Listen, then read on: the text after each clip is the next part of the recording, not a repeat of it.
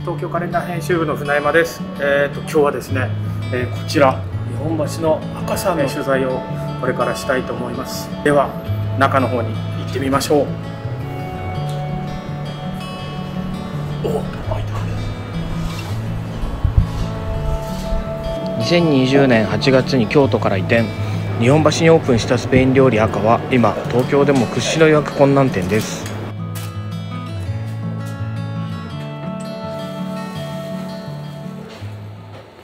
今日毛ガニのどぐろ、はい。小肌、はい、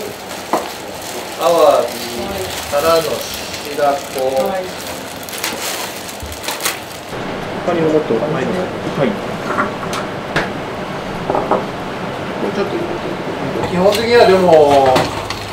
結構京都が多いですね。はい。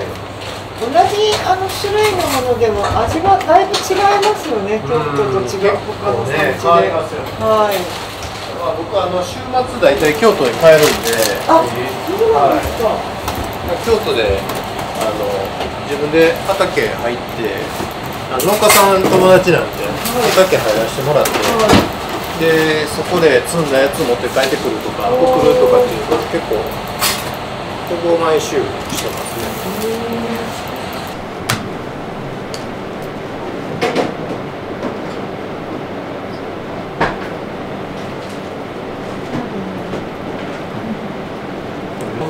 これルッコラです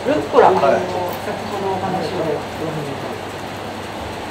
これは金地草ってい。うお野菜ですあ、ちょっとあの火が入るとネバっとする。はい、そうですね、結構美味しい。ですね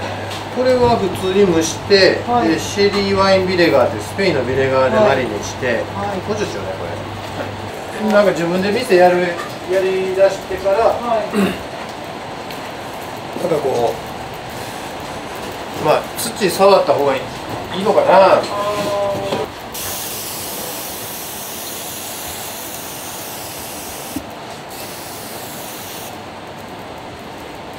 あのやっぱ季節感とか、まあ、肌で感じる温度とかっていうのが、はい。あ寒くなったしちょっと暖かい料理増やそうかなとか。はいはい。もう本当に単純なことですけどねはい、あのーただやっぱり街中東京ではその土に踏むことないじゃないですか。ちょっと季節感なくなっちゃうというか、まあ、感覚がこう何ていうんですかね。いつも畑とか歩いてると、あの畑のこう感覚があるんですけど。なんかそういうのを感じとく方がええんちゃうかなっていう気はしますけどね。ホタテを炒めてパエリアのベースですね。はい。とパエリデザインは個性的なんですけど。はいこれ作ってもらいました。特注ですか？どんなんがいいかなと思っはい。て、ピザ窯みたいなんにしようかなと思ったんですけど、ピザ窯やと結構ピザ屋っぽくなるなでまあ鉄を使ったものがいいなって言ったら、まあ、こんなん作る。僕はあの名前鉄夫って言うんで あの金属の鉄なんあでだから店の内装に鉄入れてもらってます。はいそうです。このエルメスはガダルキビールって言ってスペインの川の名前なんですよ。あ、そうなんですね。はい。このこの柄は割とね。バカラもオールドバカラですけどスペインのその、えーアルハンブラ宮殿の名前がついてるやつとか、はい。まあそういうなんかちょっとリンクするようなやつをできるだけ使ったり。ハンコントマテ。あトマトをあの練り込んで焼いてるパンですね、まあスペインだとバゲットにこうトマトを吸い付けるんで、はい。それも生地の中にトマト入れて。あ。はい。はい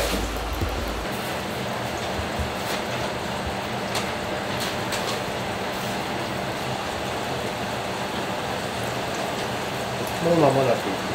はい、はい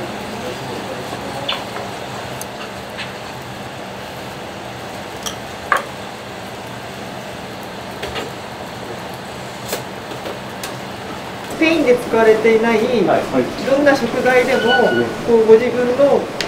技術とか、まあ、組み合わせでスペイン料理として成立させることは可能。可能なはずなんですけどね、はい。まああの僕は日本人でスペイン料理を作ってるじゃないですか、はい、スペインで食べる料理をそのままこっちで100%再現して作る必要ないと思うんですよ、はい、やっぱり日本には日本の良さがあると思うのでそれを生かした今まで自分が培ってきたそのスペインの知識だとかスペインの料理を、まあ、このお店で食べていただく方が僕はなんか日本でスペイン料理をやるっていう意味合いが出てくるんじゃないかなと思うんですよね。やっぱりここで食べたいとかここに来たいここに来る価値があるっていう風になっていくんだと思うんですけどね。ヤギのミルクのアイスクリームと、えー、岡山のオリーブオイルですね。下からよいしょ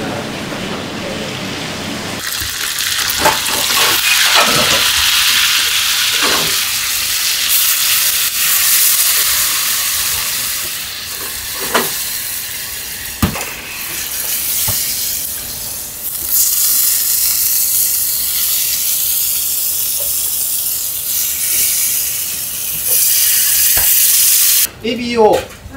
火入れていない、もう一瞬で仕上げるって感じ。はい。ただにんにくはしっかり火入れてあげるっていう。タイミングっていうんですかね。入れるタイミング。でにんにくも細かいんですぐ、まあ、やりすぎちゃうと焦げちゃうっていうところ。焦げるとにんにくはもう臭くなっちゃうんで焦げる寸前でにんにくの良さをしっかり引き出してで一瞬で仕上げてエビの良さを引き上げてあげる。一番作り続けでそんなに作り方も変えてないかもしれないですね。カルド・ガジェゴっていうスープがありまして、えー、ガリシア、はい。えー、ポルトガルの上の方のスープですね、はい、郷土料理なんですけどもう本来はもうバーッと食材入れてグツグツに炊いて食べるんですけどそれをもう少し、まあ、スープきれいにとって、はい、でかぶ、まあ、スペインもかぶが取れるので、はい。しっかりと一番美味しいポイントのところまで、あの蒸し器で火を入れて、まあ、すっきりとしたスープなんですけど、味わいが、はい。は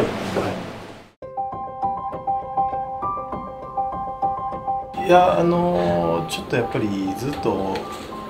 本当に結構久しぶりの取材なんで、はい、どうしようかな。このまま受けずに行こうかな、はい、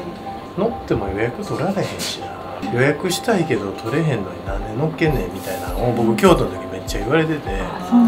乗っけんなよそれやったらみたいな。まあなんですけど来年ちょっと少し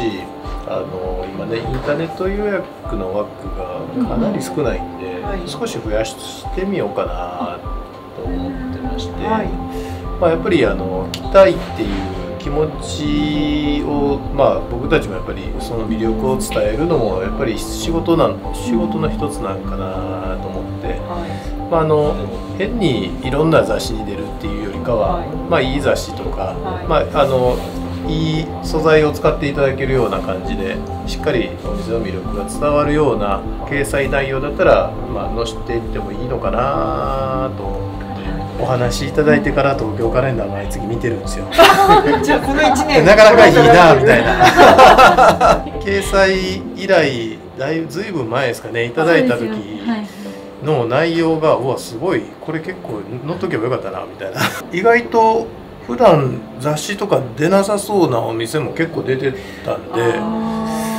天本さんとか杉田さんも出てたんかなあんまりなんかそこら辺が雑誌に出るっていうイメージなかったんでそれが載るって結構やっぱり東京カレンダーさんってすごいんやなと思って。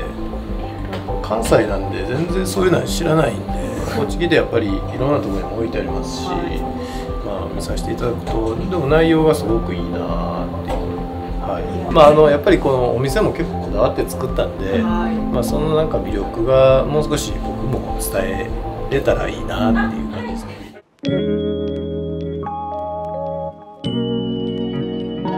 選択肢として京都に残ってはい。京都で移転っていう選択肢と自分がこう40代でできることはい。っていうのを考えたら、はい。京都で、はい。まあ、町屋かどっかでこう移転するっていうのは結構正統派なこう考え方なんですけど、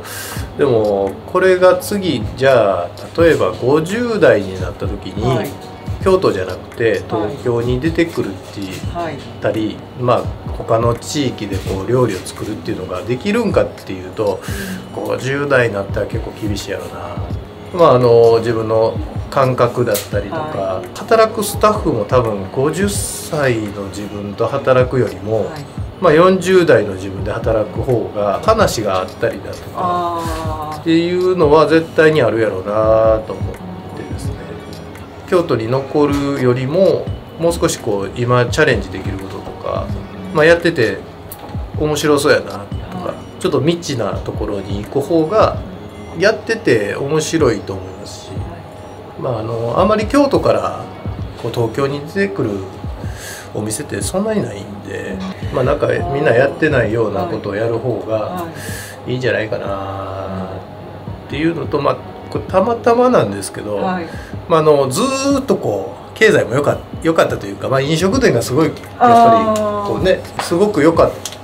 はいまあ、ずーっとこうぐんぐんのび上り調子で来てたんですけどこれどっかで絶対止まるなと思ったんですよね。まあ、オリンピックが終わるきっかけなんかか分かんないですけど京都残ってるよりも、まあ、東京の方が人口単純に多いですし、まあ、あの何かあった時に自分たちのその高価格帯でやってるレストランっていうのがはい。持ちこたえるには、はい。あのどこでやるんかベストなんかなって思うと、うん。まあ、やっぱ東京が自然にやっぱ出てきたっていうところですかね。まだ自分も挑戦したい気持ちだったりとか、はい。まあ一番料理人としては30代後半40代半ばぐらいが一番脂乗ってると思うので、まあ、その一番脂乗ってるところまあどこでやってみたいかってはい。考えると、まあ人生に1回ぐらいしかないチャンスなんで東京でやれるっていうのは、まあ、それやってみてもいいんじゃないかなっていう。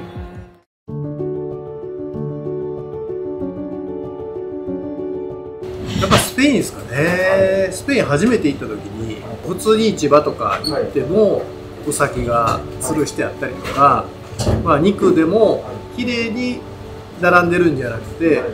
こう頭が置いてあったりとか脳みそが置いてあったりとか目ついてる牛があったりとか豚がいたりとか。なんかこう日本にはないその綺麗料理ってやっぱりまあこういう料理食べる時は綺麗なものなんですけどでも裏側って綺麗じゃないんですよね、でも日本はそれを隠して綺麗なとこしかやっぱりついてない。なんかそこにあやっぱり世界ってもっと広いしなんかスペイン料理ってなんかあパワーのある